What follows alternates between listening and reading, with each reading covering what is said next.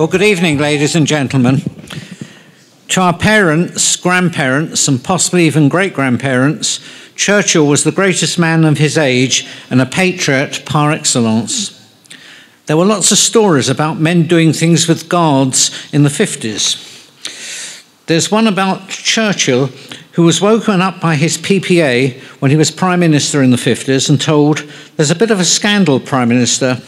There's one of our backbench MPs who was found with a guardsman in St James's Park in the bushes last night by the police, and the papers have got hold of it. Churchill said, Last night. His PPA said, Yes. Churchill said, It was very cold last night. To which his PPA said, Well, yes, I believe it was one of the coldest February nights for 30 years. Churchill said, It makes you proud to be British. Um, before I tell you about tonight's session, I would like to welcome um, Sir Ben Helfgott, who was knighted in the Queen's Birthday Honours this summer. Would you like to stand up? Um,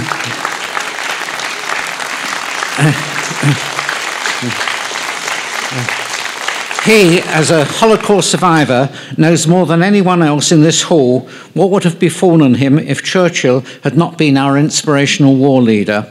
It was he who, after liberation from the concentration camps, said that the story of what has happened to him and his family and to the six million Jews murdered by the Nazis must be told. He is an inspiration to us all.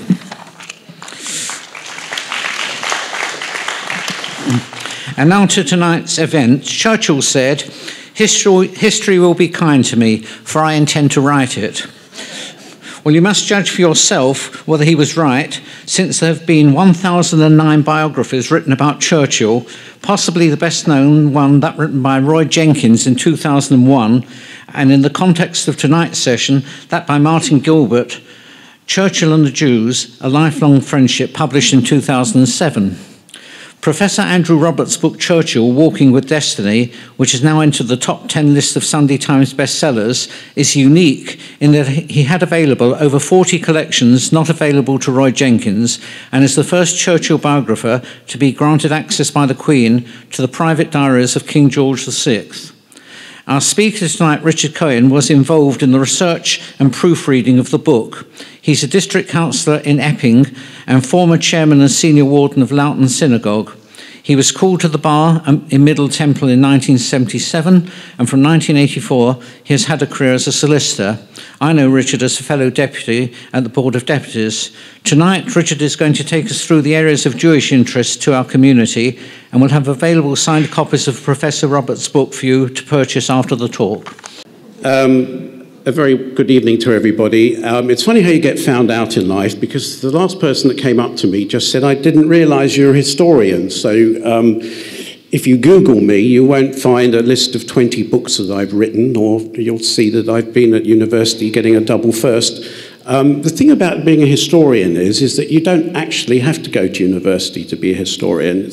Um, Churchill himself went to Harrow, which meant that uh, he had to be an, an autodidact so when he, when he was in India, that's where he read up most of his history, Macaulay and Gibbon.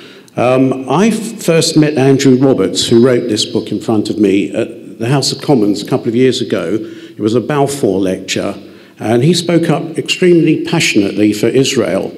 And he's written articles about the Balfour Declaration. Um, he was also an ardent advocate of the royal visit to Israel and he set up a, an organization called the uh, Friends of Israel Initiative, which he, together with um, Stephen Harper, who was the previous uh, Prime Minister of Canada, Senor Aznar of Spain, and Colonel Richard Kemp, all of whom you've probably heard, uh, they advocate for Israel and they say things because they're all non Jewish that we Jews probably would be quite nervous in, in, advocating ourselves. For instance, recently they advocated that the Golan Heights should be uh, annexed to Israel. I don't think that's something that the Board of Deputies would feel strong enough to do. So I, I, I spoke to him that evening, and I, because of his uh, ardent friendship with the Jewish people and with Israel and his love of Churchill, um, I struck up a bond with him, and we've been in contact over the last two years. Um, it's certainly been a lot more interesting than residential conveyancing. Uh, I, I, have visited some interesting places, the Morpeth Mansions where Churchill lived, and have obviously in, investigated uh, Hansard and various sources to, to dig up some nuggets about Churchill. But I feel that I owe you a further explanation this evening because you, you're probably wondering who that why that chap Disraeli is up there because he certainly doesn't look like Winston Churchill. He looks a bit too Jewish. But I think if we're going to delve back into history, and uh, you'll know, or if Churchill lived to 90, that he was actually born in 1874, which was the first year that Disraeli formed his major administration. And if you want to know why Churchill was a Philo-Semite, you, you really have to look at his father, Lord Randolph Churchill, who was on very familiar terms with Disraeli. He was too young to be a minister, but was a close confidant of Disraeli. Um, and between Disraeli and Randolph Churchill, they formulated this idea of Tory democracy, which involves the aristocracy feeling a sense of obligation to the working class. So it was the Tories at the time who, brought, who extended the franchise to the working man and they brought in a lot of legislation involving slum clearance and uh, anti, uh, uh, as far as the chimneys were concerned, uh, the kids that used to go up the chimneys, they, they brought in protective legislation. And this was something that was carried on by Winston Churchill because he was a Liberal Member of Parliament for a time and he brought in a lot of legislation for widows' pensions, um, shop, shop workers relief uh, so that they can have half a day off work. Um, and this was something that throughout his life he owed to Disraeli. And like Churchill, um, Disraeli uh, was quite wont to come up with certain epigrams that, that Churchill found quite inspiring. When Disraeli made his maiden speech in 1837, he was shouted down, and his finishing words to his speech were, Though I sit down now, the time will come when you will hear me. And if you can think about Churchill being in the wilderness during the 1930s, when nobody was listening to him about the threat of Hitler, uh, those words were very inspiring to him. Other words that he found inspiring was that uh, you should aim high in life because you will never achieve more than your ambitions. So I've got a few pictures here of Disraeli, which I'm going to uh, run through. And then that's Disraeli with Queen Victoria. Um, she was actually a bit of an anti-Semite, Queen Victoria, and she, the first meeting they had, she asked him, uh, Mr. Disraeli, are you a Christian or a Jew? He said, Ma'am, I am the blank page between the Old and the New Testaments.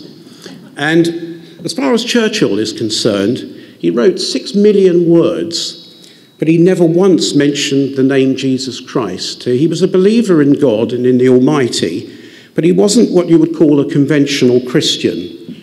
Um, he described himself as not being a pillar of the church, but more of a flying buttress from the outside.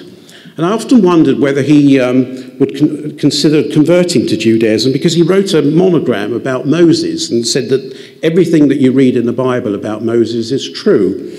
But I think he was too wedded to his love of ham, followed by Stilton, so that probably would have put him out of court to, uh, to become a Jew. Uh, but of course, he would never have been prime minister anyway. Such was the anti Semitic climate at the time. Anyway, Churchill's parents, uh, his mother, if you look at the internet, you'll see all the conspiracy theorists say that she was, because she's from America, from New York, therefore she was of Jewish stock. But this is, in fact, completely untrue. She came from a family called the Jeromes. Uh, they were a very wealthy New York family, but far from having any Jewish blood in their veins, if there was any foreign blood at all, it would have been a little bit of red Indian. In fact, she was not a Philo-Semite. In Churchill's very early years, uh, he would upbraid his mother for, for making uh, anti Semitic remarks. But I suppose that there was one respect in which she did behave a bit like a Jewish mother because she was very fiercely involved in his advancement. Uh, Churchill's father died when Churchill was 20, And uh, that was in 1895. Strangely enough, um, when he died in 1895, on January the 24th, he, he preceded his son by exactly 70 years on the same day. And Churchill actually predicted that he would die on, on the 24th of January 1960, well, not 1965, but the same, the same day as his father. But coming back to um, Jennie, um, she, it was said of her that she would leave no stone unturned, no cutlet uncooked in, in pursuit of her son's interest. In fact, there's a book that's just been published of the letters between them, which really read more like a brother and sister than a, a mother and a son. Which is strange, actually, because when during Churchill's formative years, um, his parents treated him very badly.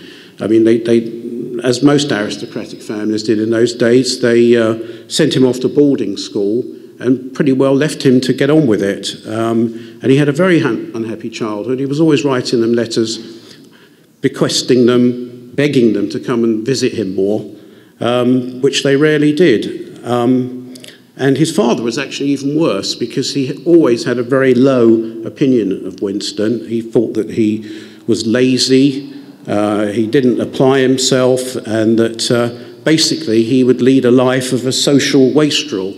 Um, he failed his exams, Winston, when he tried to get into Sandhurst, and he only passed on the third attempt. And because he didn't come in the, in the top third, uh, he went into the cavalry instead of the infantry, and his father took a very dim view of that. So he never really had a close relationship with him at all. In fact, once when Churchill wanted to when Randolph Churchill was a minister and Winston wanted to help him out with his work, sort out some papers from him, he said his father froze him into stone. And yet, everything that Churchill did after that was an attempt to please his father um, and to show him that Churchill really could make something of himself. When Churchill was in opposition in the 19, after the 1945 election, he wrote an article called The Dream, in which he was in his studio painting and he thought that he saw his father sitting in a chair and had a vision of him. And Randolph was asking questions about, about what Churchill had done. Um, it's an interesting essay because Churchill never actually tells him that uh, he kind of helped to save the United Kingdom and the British Empire in the Second World War. So it was a really a relationship that's worthy of psychoanalysis. Uh, once his Churchill's daughter Mary said to him, "If there was anybody that you would like to be able to bring back now to sit in a seat and, and chat with them, who would it be?" Um, you might have thought it would be one of Churchill's heroes, the Duke of Marlborough or Napoleon. In fact, he said he wanted without hesitation to see his father Randolph again. So, Lord Randolph Churchill mixed in Jewish circles with such well known families as the Cassels and the Rothschilds. Um, it, to such an extent that he once went to a party in Buckinghamshire, and the host said to him, I see, Lord Randolph, that you've not brought your Jewish friends with you. And Randolph replied, No, I thought they'd be rather bored in this company. Um, and this philo-Semitism was something that Churchill picked up and ran with. Um, when he was 21, he was an ardent supporter of uh, Captain Dreyfus in the Dreyfus affair in France. And then eventually, when he became an MP, he, um, that's Churchill as a boy at Harrow, he had, a, he had remarkable gifts of prophecy, Churchill. When he was 16, he told a friend of his called Murland Evans that um, he foresaw uh, great events befalling London, Britain, and the Empire. London will be in great danger. This is in 1891. And Churchill said that I will be called upon to defend London.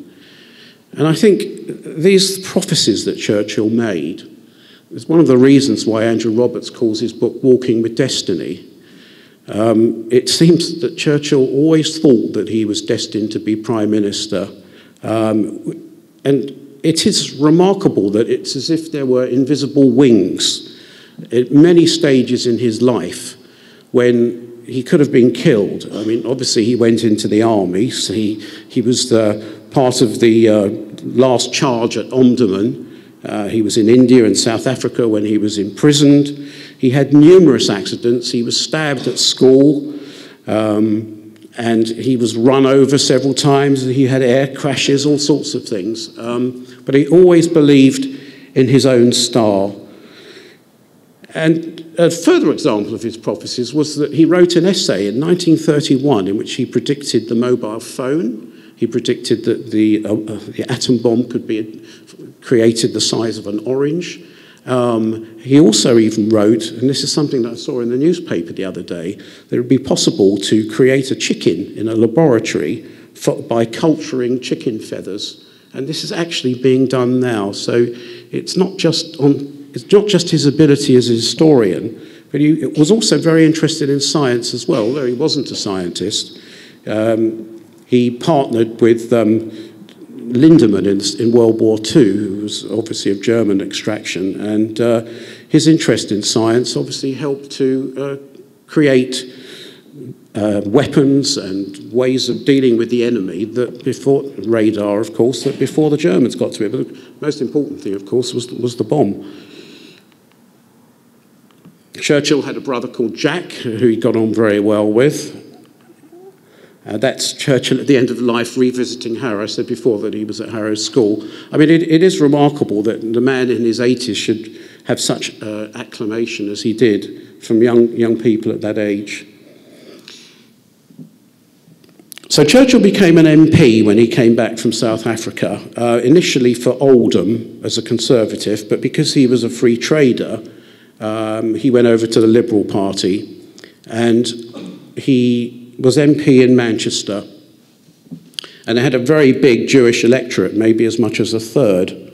Um, and he adopted a lot of Jewish causes. Uh, the first major one was the Aliens Act, because, of course, a lot of Jews were escaping from the pogroms in Russia, and they came over to the UK in large numbers. And um, this caused quite a lot of unrest amongst the population, fearing for their jobs fearing for the identity of, of East London. And it was the Conservatives who originally brought in the bill. And Churchill made some um, pretty rousing speeches against the bill. And actually, the bill was abandoned by the Tories, only to be retaken up again by the Liberal Party, but in a, in a more sort of watered down way. It's probably very dif difficult for us to comprehend that 100 years ago, when one became an MP, not only weren't you paid, but you're expected to make charitable donations within your constituency. So Churchill was a donor to um, the Talmud Torah schools, various Jewish hospitals, and he built up a very close relationship with his constituents, and he, and he met people like uh, Weizmann and Rabbi Gaster, who educated him about Zionism. So his knowledge of Zionism was planted whilst he was a an MP in Manchester.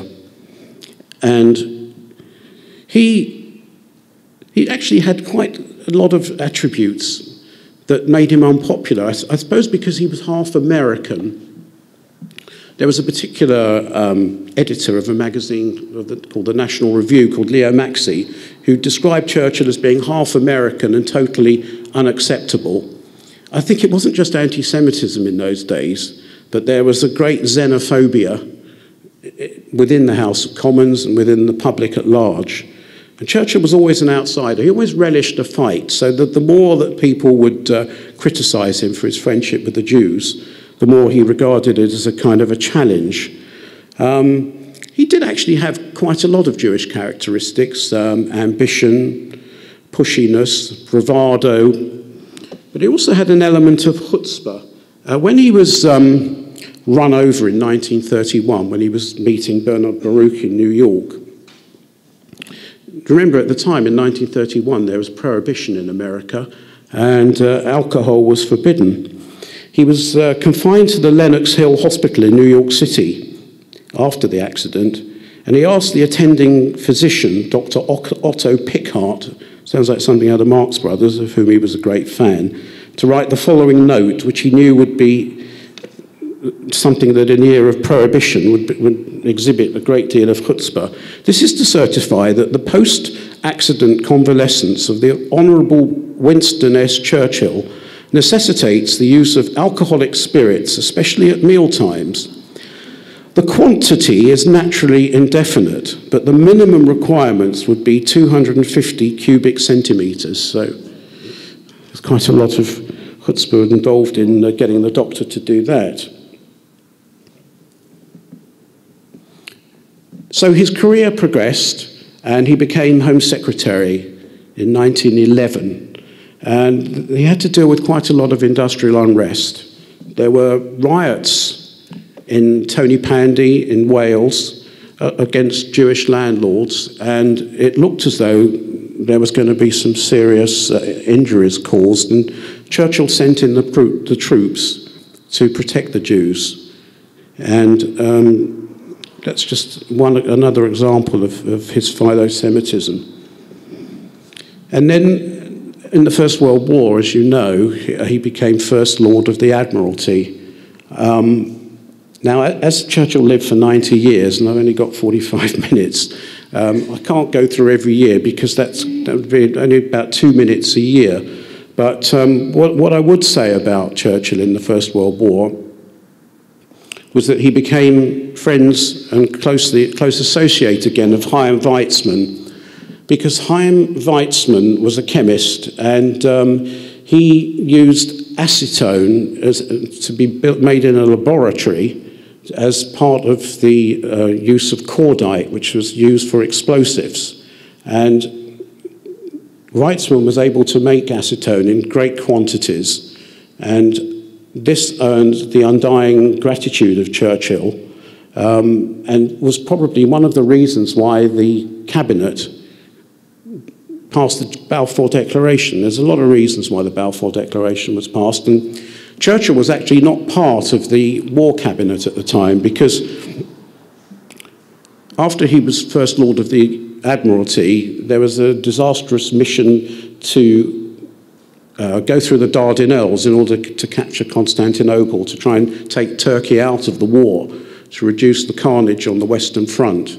But that was a, that was a failure, and um, Churchill was out of government, which meant that he, didn't, he wasn't actually one of the drafters of the Balfour Declaration, but he did support it.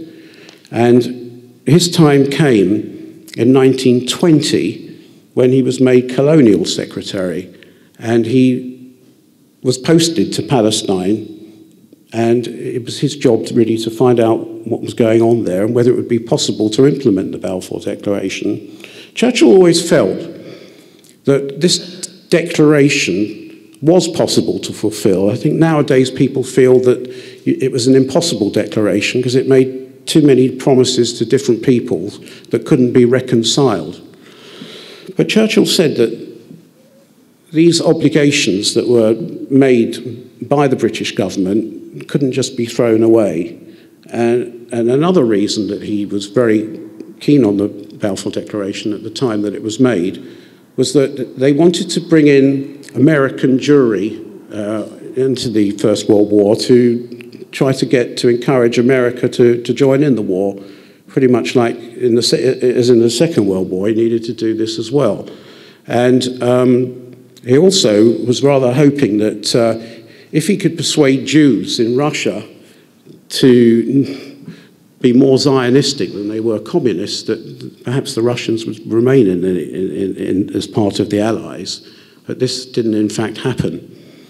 Uh, Churchill hated communism and he, he regarded Bolshevism as a foul baboonery and did, did what he could to try to um, get the white Russians to get back into power in the early 1920s, but, but that failed. The thing about Churchill, though, was that he was adaptable, and much as he hated communism, as we'll see in a little while, he, he knew eventually that uh, they would have to ally with the communists against Nazi Germany, but unfortunately, Chamberlain and the rest of them didn't go along with this, so he failed there. But of course, as, you, as we all know, in, in World War II, he had to make common cause with Stalin in fact, when, when Russia did, did come into the war, uh, Churchill said that uh, if Hitler invaded hell, I would have a good word to say about the devil. So you know, obviously the friend of my friend is, my, is not my enemy. So, coming back to Palestine again, he, um, he was extremely impressed with the efforts that the uh, Jewish pioneers were making in terms of uh, making the deserts bloom, in terms of providing employment to not just the Jews out there in, in Palestine, but the Arabs as well. And Churchill always thought that uh, the creation of a Jewish state within Palestine would be a blessing not only for the Jews, but for the Arabs and the rest of the world as well. Um, so I, I, feel that, um, having met Andrew Roberts, that this is something that we all have an obligation, perhaps to the memory of Churchill, to try to pursue. But I think I'm probably going a little bit ahead of myself because you've got the poster at the moment behind me, which is a recruiting poster from the First World War. It's a Canadian recruiting poster, but it's got at the top there three gentlemen who did play prominent roles in the British government. And as this talk is about Churchill and the Jews, I thought I ought to say a little bit about Jews that played a prominent role in those years. So on the left, we have Herbert Samuel, who became the first High Commissioner in Israel but he also was played very prominent roles as a minister in uh, Liberal government and in the coalition government after the First World War. Um, but the strange thing about Herbert Samuel, which would be might come as a surprise, is that he was also an appeaser during the 1930s. You would have thought that uh, Jewish MPs would automatically be uh, anti, anti-Hitler, but that isn't actually the case when you, when you pursue it a little bit further. Gentleman in the middle is Viscount Reading. He was, known, he was also, prior to that, known called Rufus Isaacs. Uh, he became Chief Justice and he was also a Viceroy in India. Um, he was involved in a little bit of a scandal called the Marconi scandal, which I won't go into um, very much. But Churchill did defend him and Lloyd George in that. There was quite a lot of corruption around Lloyd George. Um, and even though Churchill was his colleague for many years, uh, it didn't always do him an enormous amount of good, being too closely associated with Lloyd George. An interesting sideline um, to Lord Reading is that any of you that have been to Tel Aviv would probably be aware that there's a power station there called the Reading Power Station which isn't actually named after the town Reading, but it's named after the gentleman in the middle. Gentleman on the right is called Edwin Montagu. He's an interesting character because um, Herbert Asquith, who was Prime Minister before Lloyd George, um, instead of uh, in cabinet meetings taking notes and being in command of the, the cabinet meetings, was often writing love letters to his his uh, mistress, Venetia Stanley. But um, he was rather miffed, was old As- Asquith, when Edmund Montagu um, actually married this Venetia Stanley, and uh, she actually converted to Judaism. But his role, he was, he was also Secretary of State for India. And during his tenure, there was uh, something called the Amritsar Massacre. Now, when, you, when you're writing a book about Churchill, as Andrew Roberts has done, he's often assailed with people saying, you know, a bit like when people shout at you, Free Palestine, when you're walking to shore. People shout at Andrew Roberts, what about the Bengal famine? What about Dresden? What about Churchill's racist views? So, you know, there's always things being thrown at him. Um, as far as uh, Montagu is concerned, he, his role as the Secretary of State for India was to bring General Dyer down a few pegs to um, demote him because there'd been a terrible massacre in India. About 600 Indians that didn't have any weapons at the time. They were just demonstrating against uh, the rough treatment they'd received from the British authorities. It was his job in the House of Commons to um, justify the Liberal government's uh, attempt to remove this General Dyer. And his attempts to his attempts to rebuke General Dyer in the House of Commons were a total disaster. It was because of anti-Semitism. Um, the average politician felt that it was no business of a Jew to come in and tell the British how to run their affairs. And in the way that the Americans say that something's un American, they accused him of being un English. And the government was actually going to lose the vote. But Winston Churchill came along and he rescued the situation. Um, he criticised General Dyer, and in the end, the Commons voted overwhelmingly to censure General Dyer. One more interesting fact about Edwin Montagu is that when the Balfour Declaration was passed, he was the most ardent opponent of the Balfour Declaration because he felt that it would be impugning his loyalty as a British citizen for him to show any kind of loyalty for a, a Jewish state in Palestine.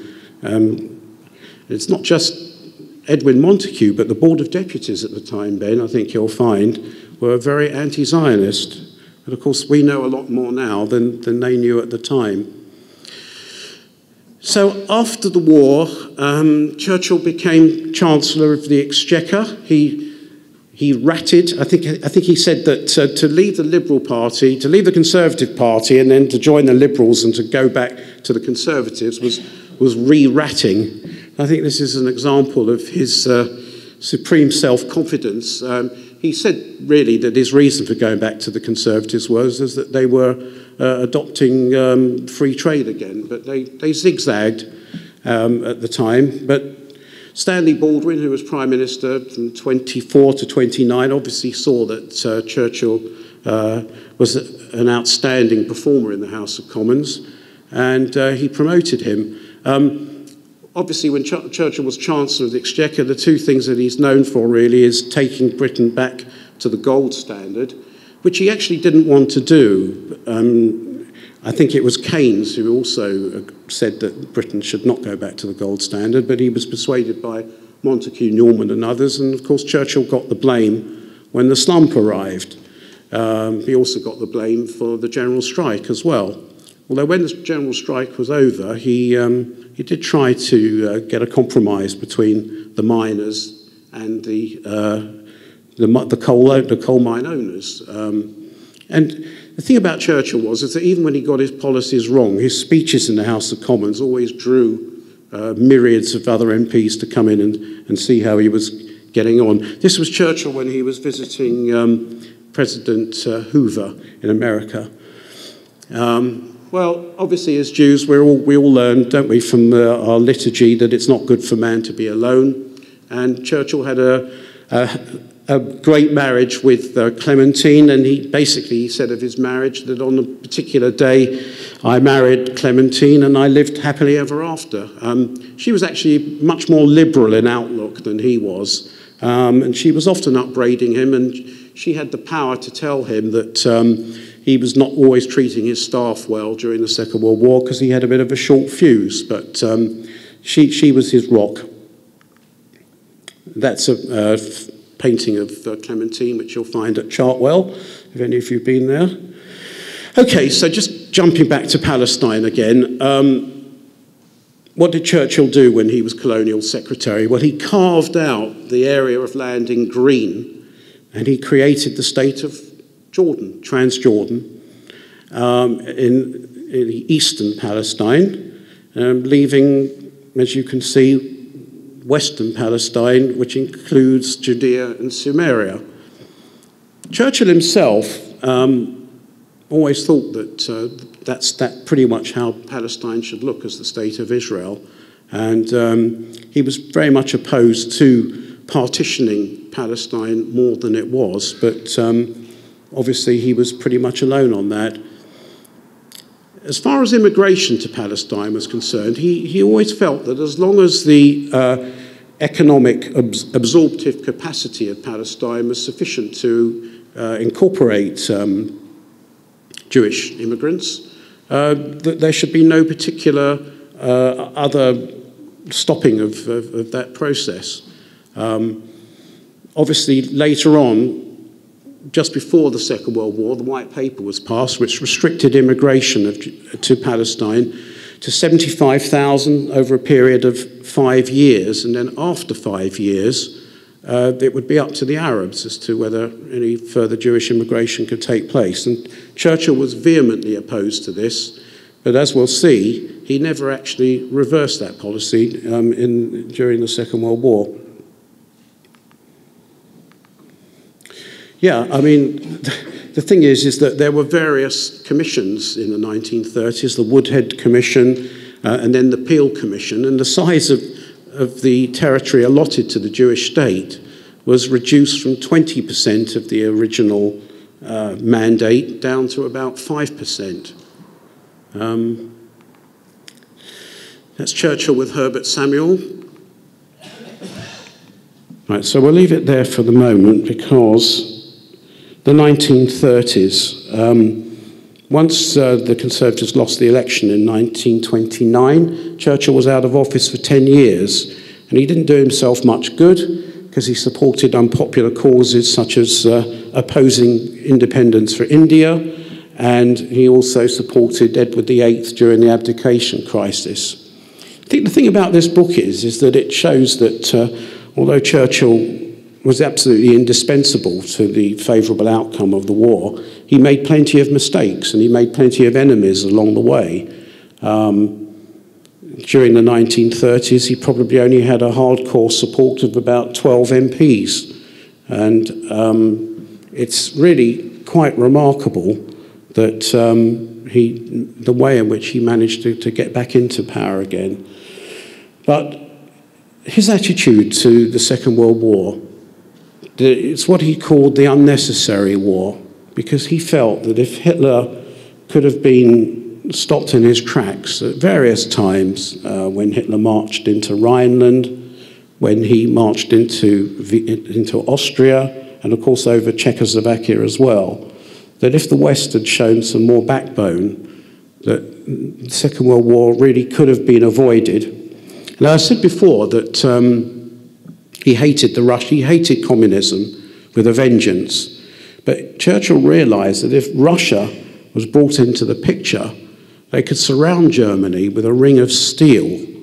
And really, the, the one thing that Hitler didn't want, of course, was a, was a war on two fronts. But, you know, Chamberlain was so stubborn that he, he had no dealings with Russia at all. And at Munich, when the fate of Czechoslovakia was sealed, Russia wasn't even invited to the conference. And, you know, what do people do when they're spurned? They, get, they go somewhere else. And unfortunately, the, the Russians found it convenient to have this um, marriage of convenience with the Nazis at the time, which made World War II inevitable. Churchill didn't always feel that Hitler was a terrible threat. I mean, at, first, a lot of people thought that uh, he was bringing some discipline to Germany uh, through its financial chaos and that uh, he was a bulwark against communism. In fact, you know, Churchill even attended the, um, the Olympics in Berlin in 1936. So, you know, one thinks that um, Churchill eschewed everything that Hitler did, but you know, a lot of people like Lloyd George, a lot of British politicians, they did think that uh, fascism, and, and fact, Churchill was quite a supporter of Mussolini at first as well. But you know, his eyes were pretty well opened, and I think because Churchill was a Philo-Semite, I think he saw that Hitler's persecution of the Jews was simply uh, the canary down the mine and was a precursor of terrible things to come. And the thing about Churchill is that he was always thinking ahead. And, you know, not only did he realize that Russia would have to be brought into the circle as well, but of course, America. That, I think that was one of Churchill's greatest achievements uh, when Britain was going it alone, was to um, form this unbreakable friendship with Roosevelt. Um, you know, numerous letters backwards and forwards, Churchill was always flying over to America to, to stay with Roosevelt, to meet him in the White House, because of course Roosevelt, um, had, had, being uh, who had polio and was confined to a wheelchair, was never able to come to the UK. But Roosevelt did send over um, emissaries, and one of them was Harry Hopkins. And he, Churchill, through what you might call dinner diplomacy, uh, he basically he schmoozed people. He, he brought them into his orbit, and um, he would make them feel that they were the most important people. So he took this uh, emissary of Roosevelt, Harry Hopkins, he took him to Scotland, to, to Glasgow, to, to see the munitions factories and what was being done in the city to um, build up the various industries. And Harry Hopkins was, was so impressed with what he'd seen that he wrote Churchill a letter afterwards and, and quoted Ruth. He said, basically, this is what he said. He said, Our God will be your God. Whither thou lodgest, we will lodge. And wherever you go, we shall go, even to the end. And Churchill was what you might call a regency figure, more of a Victorian figure, because Victorians kind of, kind of had a stiff upper lip. But Regency figures uh, were known for their lachrymosity. Churchill, it's recorded about 50 times, would burst into tears. Uh, Churchill describing the persecution of the Jews to Attlee. Attlee reports that he had tears coming down his face. Uh, he was a remarkably emotional man, given that dealing with the uh, unprecedented crisis of having to deal with the Nazis almost on his own for at least a year, with, of course, the support of his empire, he had to remain calm in the eye of the storm. But he was always uh, an emotional man, and he was never, never afraid to show his emotions.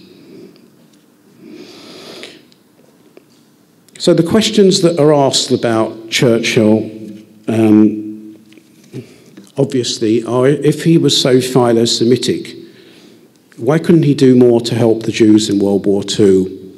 Um, Churchill maintained in a speech in 1946 that they did, they did know that terrible things were being done to the Jews, the massacres and so on. But I don't what he said in 1946 was that he didn't really fully comprehend the industrial scale of the extermination camps, which I find a little hard to believe because there was quite a lot of evidence coming out of Poland um, from 1942 onwards of what was going on.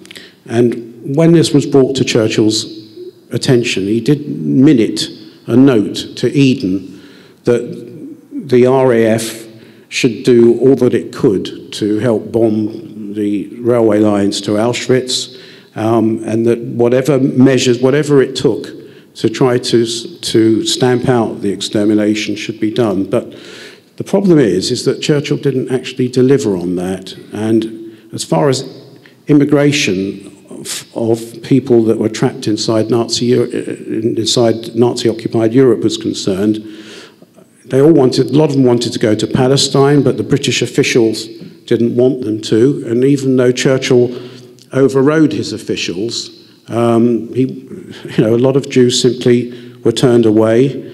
And um, Roosevelt wasn't a lot better because uh, you'll, you'll, you'll, know of the story of the SS Louis, um, that um, they, America, for all its vast space, they, they really didn't allow many Jews to immigrate there at all because they, as, as they often said, the Canadians and all the rest of them, they don't have a problem with anti-Semitism and they didn't want to create one, which I think is pretty feeble excuse uh, looking back.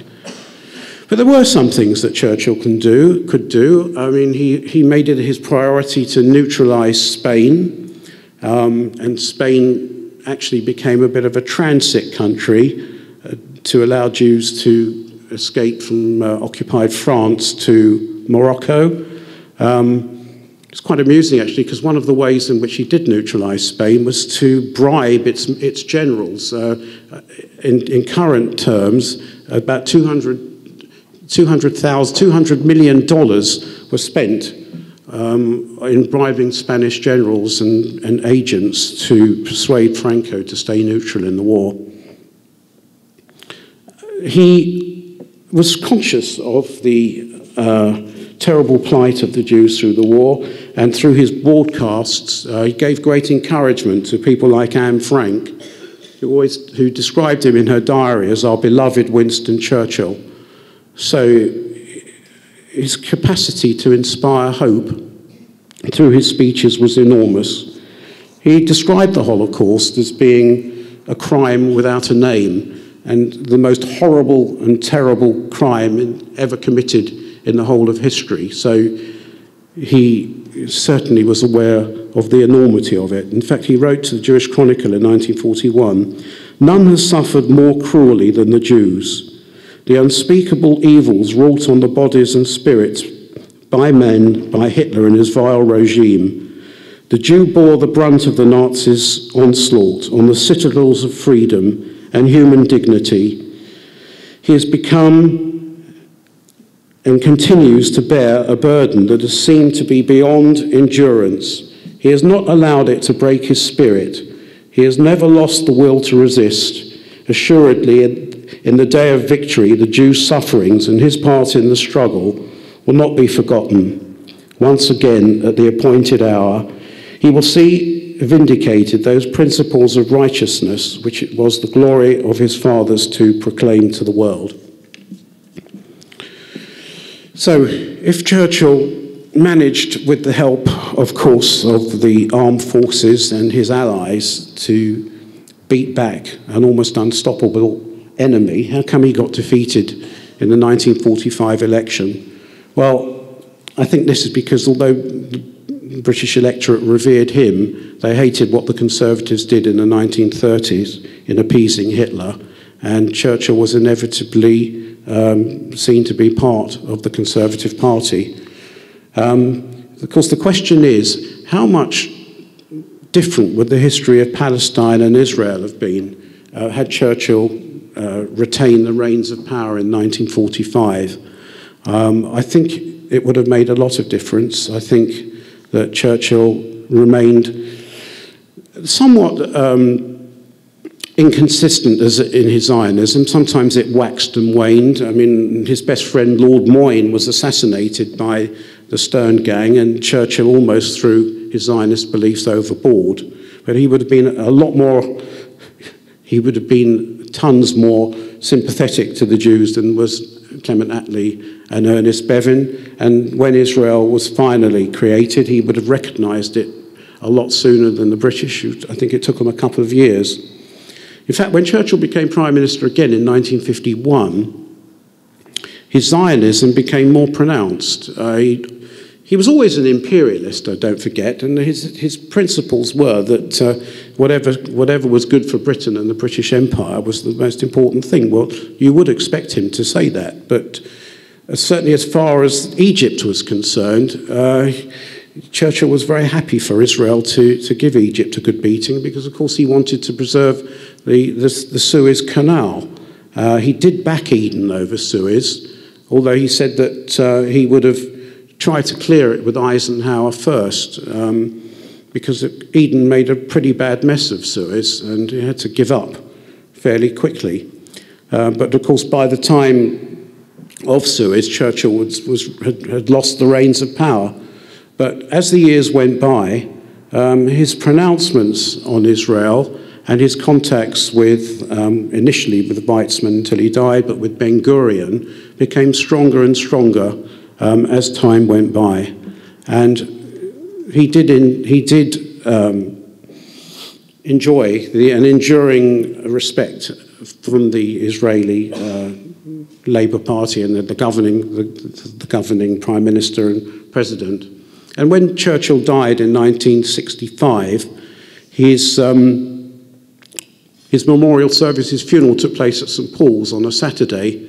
And whilst it's probably not de rigueur for a Jew to go to a church at all or a cathedral, um, certainly Ben Gurion and the president at the time, Zalman Shazar, um, they came over to the Savoy Hotel and they walked to St Paul's. Uh, there was, I don't, I don't think there was any correspondence in the newspapers about them doing the wrong thing, because we're talking about a man who not only saved the Jews as a people, but helped to bring about their state as well.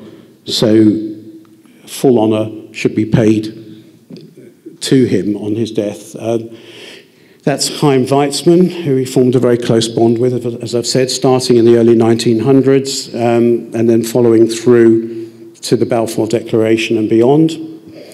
That gentleman there is Leon Blum. The thing about Churchill is, is that he could, he, could, he could form friends from all different parties. Leon Blum was a French socialist prime minister, so it wasn't just conservatives that he was friendly with. Now, Hitler said of Churchill that um, he was a fat, lazy drunkard kept afloat on Jewish gold.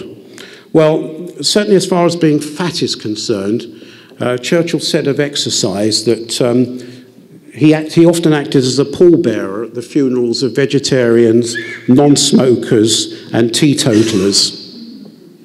As far as being a drunkard is concerned, um, it's been said that he couldn't have been an alcoholic because he drank too much to be an alcoholic.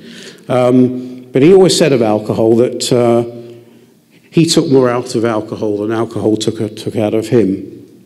He wasn't lazy, although he had an afternoon lap, and although he, he was often in bed till 12 noon, he would, on the other hand, he would work till 3, 3 or 4 o'clock in the morning.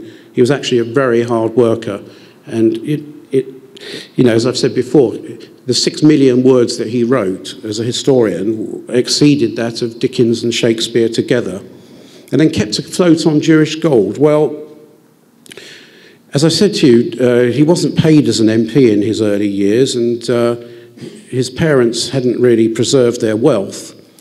And Churchill was a bit of a gambler himself, but he did earn his keep through his journalism and through his uh, works of history. But he made some bad choices, and there were occasions when when Jews did help him out, and this is one of his benefactors, Henry Strakosch, that left him a lot of money in his will. Um, other Jewish financiers that he worked with was Bernard Baruch, who was his stockbroker, and there's a picture of him there with Churchill, and another one there. But uh, it would be very wrong to say that, uh, that Churchill somehow was totally dependent upon these people. They did, they did help him, but uh, he did a lot to help himself as well. Um, yes, of course, he made use of uh, Jews that had a great deal of knowledge. That's Sir Solly Zuckerman, who was a South African scientist. Um, and um, there are many others. I don't know why there's a picture of Stalin there. That's a picture of Churchill by Karsh after he'd taken his cigar away. So that's why he's looking so fierce. A bit more cheerful there.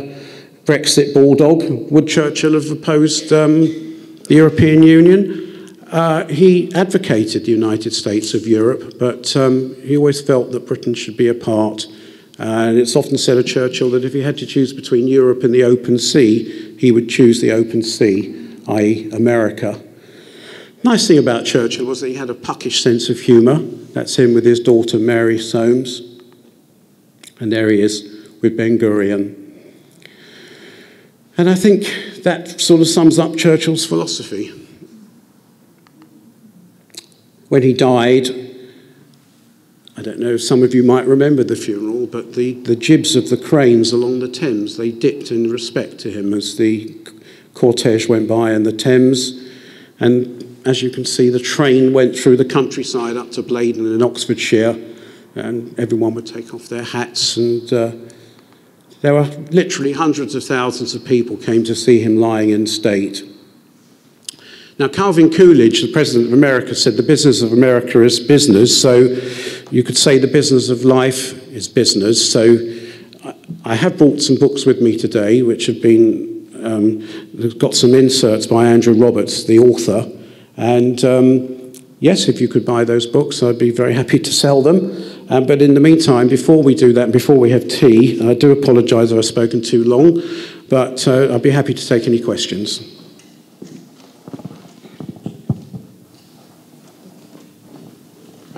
Yes, this lady here. Uh, can, can, I give it? Can I give you my? we could just have your name as well, that would be nice. You don't have to stand up. Norman Frankel, how does your book compare with the books written by Sir Martin Gilbert? Well, yeah, of course, it's not my book. I was just doing a little bit of research and proofreading. Uh, it's Andrew Roberts' book. Every historian owes an enormous debt to Martin Gilbert. He wrote the book, as uh, Spencer pointed out, Churchill and the Jews. He wrote dozens and dozens of books. You know, in fact, when you, when you think about this ridiculous thing that uh, Jeremy Corbyn said recently about the Jews having no sense of irony and no sense of history, I mean, it's so absurd because just think of some of the top historians Martin Gilbert, Lewis Namier, Simon Schama. Um, there are just dozens of them. Isaiah Berlin. I mean, Lewis Namier and Isaiah Berlin, they both helped Churchill write his books on Marlborough and the Second World War.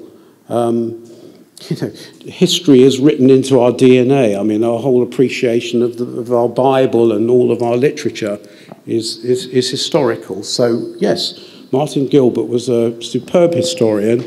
Um, and not only did he, did he write the last six volumes of the Churchill biography, but he wrote companion volumes as well. So his research was uh, tremendous. And uh, yes, Andrew Roberts would acknowledge that every Churchill historian owes a lot to Martin Gilbert. Yes. Uh, my name is Robert Slager. Why didn't Churchill uh, act it bombing the railway lines to the concentration camps? Well, because I, th I, think large part of it was because the Americans didn't want to go along with it. Remember that um, it, was, it was a long way from London to, to Poland, and even, even though at the time, uh, after D-Day, that, that obviously the Allies had made inroads into Europe, it wasn't, wasn't that easy from the point of view of fuel to get to, uh, to, get to Auschwitz. The thing is about Auschwitz is that there were so many different railway lines that were leading to it that if you bombed one railway line, there might have been, you know, a dozen other ones because it was a, it was a central nodal point.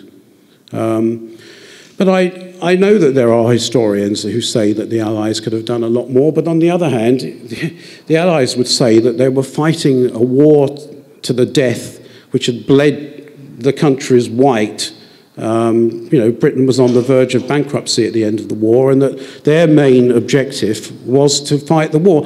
And unfortunately, there were people at the time who said that this was a war for the Jews. There was an enormous amount of anti-Semitism in Britain at the time. You know, people were having a dig at what they thought were Jewish black marketeers. And if any politician said, stood up and said that, you know, we're doing this to defend the Jews, it would have been very unpopular.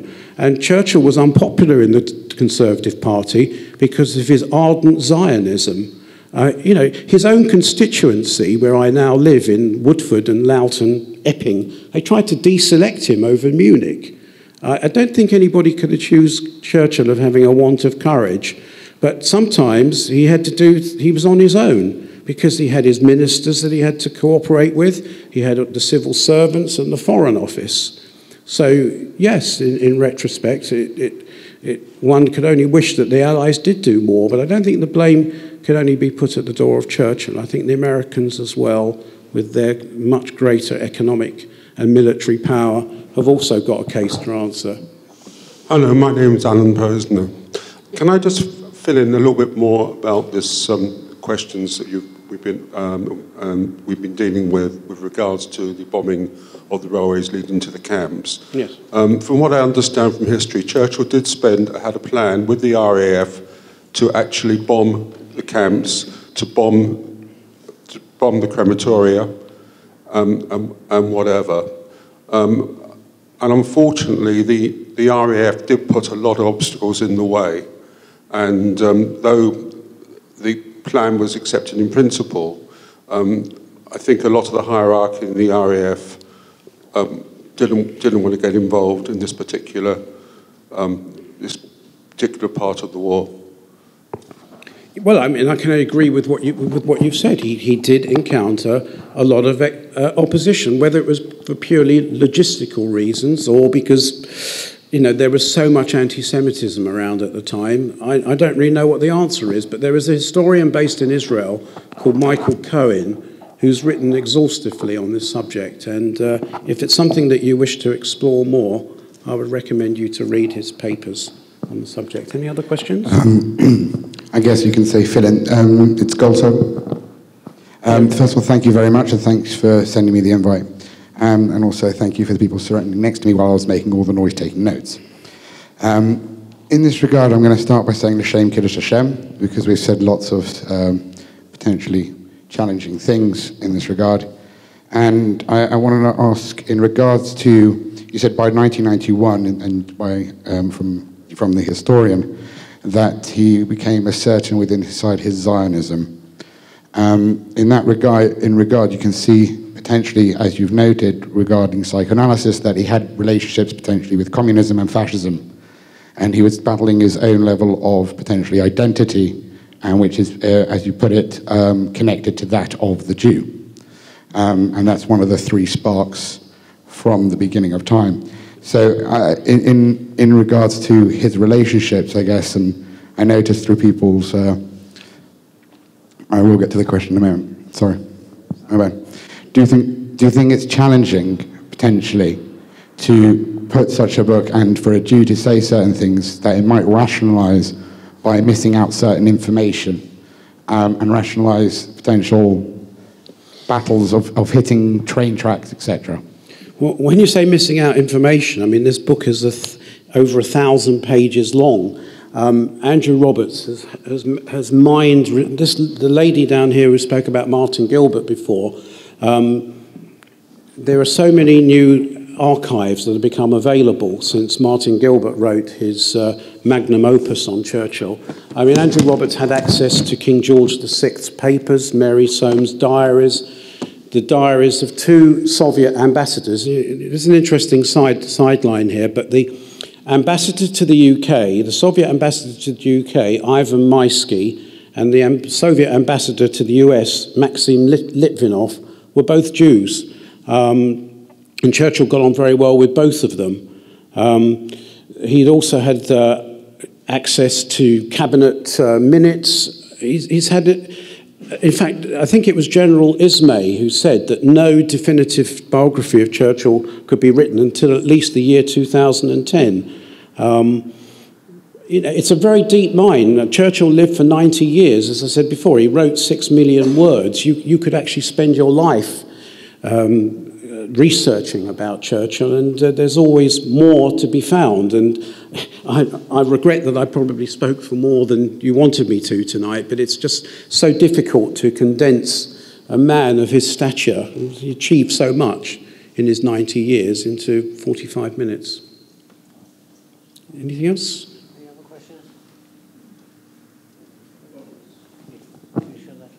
Sorry, down here? No?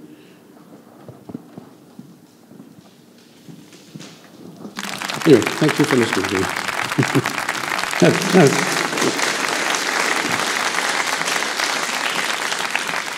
Richard, um, thank you for that whistle stop tour around the life of Churchill.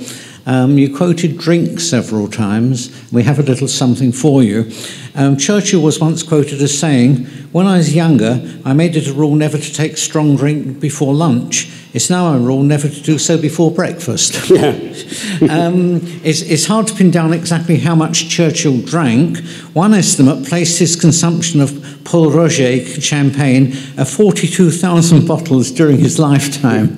Now, you also mentioned when um, his marriage to uh, Clementine. Mm. Uh, to get an idea of Churchill's annual alcohol consumption, here's what he ordered in 1908, the year he married her and it's going to take a few seconds to tell you this.